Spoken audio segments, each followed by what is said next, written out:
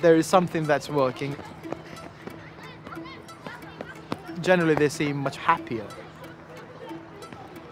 Every day it has a really positive impact on how they're feeling. It's amazing.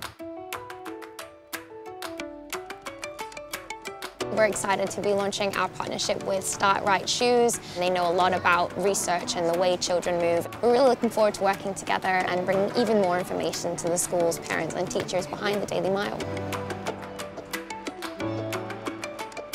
The children tend to just get up from their seats, walk straight down, run the Daily Mile, and then they bring themselves back upstairs and sit down and carry on working.